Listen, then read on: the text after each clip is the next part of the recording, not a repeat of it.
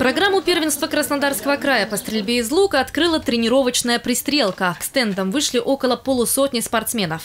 Это лучшие лучники края. Они представляют четыре команды – Сочи, Новороссийск, Анапу и Красноармейский район. В фаворитах команда Новороссийска. По результатам прошедшей спартакиады учащихся Кубани команда лучников из этого приморского города заняла первое место.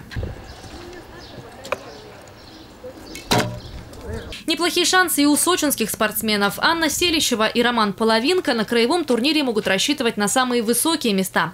На спартакиаде Южного федерального округа этот дуэт взял золото в миксте. Мы стреляли в городе Таганрог. Это была спартакиада ЮФО, ну, Южного федерального округа. Мы там заняли первое место в команде «Микс». Э, выиграли Орловскую область, э, Республику Татарстан – Ростовскую область и Мособласть. Вот, и заняли первое место. В первенстве Кубани участвуют юноши, девушки, юниоры и юниорки. Медали разыграют в личном и командном зачете. Юноши и девушки будут стрелять на 60 метров, юниоры на 70. Борьба будет серьезная, говорят организаторы.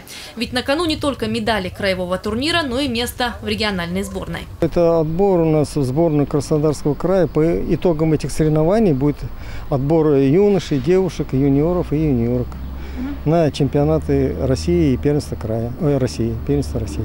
Медали первенства Краснодарского края по стрельбе из лука разыграют за два дня. Кстати, Сочи сегодня это главная площадка для проведения краевых чемпионатов. Как говорят организаторы, здесь идеальные условия для проведения соревнований по этому виду спорта. Ольга Десятого, Демид Даниловский, телекомпания ФКТ.